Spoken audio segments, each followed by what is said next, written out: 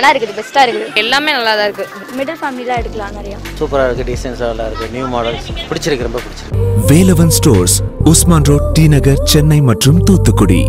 இன்னைக்கு third promo பொறுத்த வரைக்கும் ஆரிக்கும் ரியோக்கும் பயங்கரமான சண்டை. ரியோ ஆரி கிட்ட எவ்வளோ விஷயங்கள் நீங்க எனக்கு அட்வைஸ் பண்ணிருக்கீங்க அதை கேட்டுட்டு நான் எந்திரிச்சு போயிருக்கேன். ஆனா நான் சொன்னா மட்டும் உங்களால ஏத்துக்கவே முடியல. என்ன இது? நியாயமே இல்லாம இருக்கு. நான் ஒன்னு சொன்னா நீங்க வேற ஒரு விஷயத்த சொல்லி என்கிட்டயே பிரச்சனை பண்றீங்க அப்படின்னு பயங்கரமா ரியோ கத்துறாரு. உடனே ஆரி நீங்க சொல்ற விஷயங்கள் ஏத்துக்கிற மாதிரி இருந்தா ஏத்துக்குவேன். நீங்க அனிதாவையும் அதே விஷயம் சொல்லி தான் அன்னைக்கு ஜெயிலுக்கு அனுப்புனீங்க.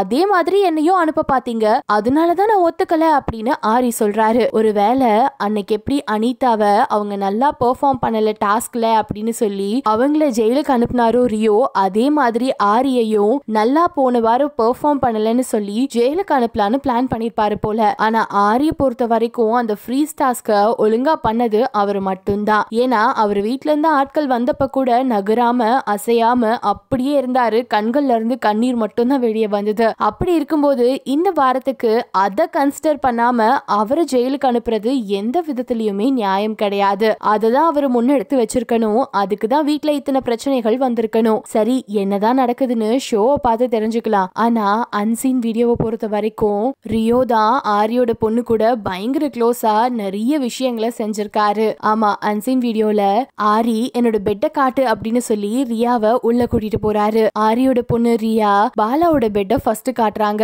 இதுதான் அப்பாவோட பெட்டுன்னு அதுக்கப்புறம் அப்புறம் வீட்டில் இருக்க ஹவுஸ்மேட்ஸ் எல்லாம் இது பாலா மாமாவோட பெட்டு உங்க அப்பா பெட் எது காட்டு பார்ப்போம் அப்படின்னு சொல்லி கேட்டாங்க. உடனே ரியா ஒவ்வொரு கேர்ள்ஸோட பெட்டியா காட்டிட்டு அதுக்கப்புறம் கடைசியா அவங்க அப்பாவோட பெட்டை சிவானி காட்டி அதுக்கப்புறமா அவங்க கரெக்டா கண்டுபிடிச்சாங்க. அந்த இடத்துலயும் ரியோவும் சிவானியும் மட்டும்தான் ஆரியோட குழந்தை ரியாவோட க்ளோஸாவே இருக்காங்க.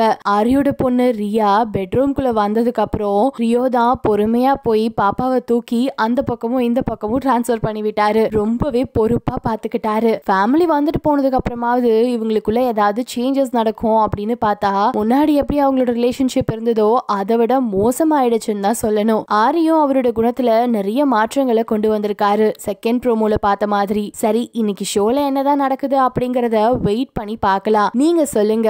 ஆரி ரியோ இவங்க ரெண்டு பேர்ல நீங்க யாருக்கு சப்போர்ட் பண்ணுவீங்க? இந்த வாரம் ரெண்டு பேரை ஜெயிலுக்கு அனுப்பணும்னா நீங்க யாரை சூஸ் பண்ணுவீங்க? உங்களோட கமெண்ட்ஸை கீழே இருக்க கமெண்ட் பாக்ஸ்ல கமெண்ட் பண்ணி என் கூட ஷேர் பண்ணிக்கோங்க. எனது வரைக்கும் சினியுலகம் ஃபேமிலியில ஜாயின் பண்ணாதவங்க இப்போ சப்ஸ்கிரைப் பண்ணி ஜாயின் பண்ணிக்கோங்க.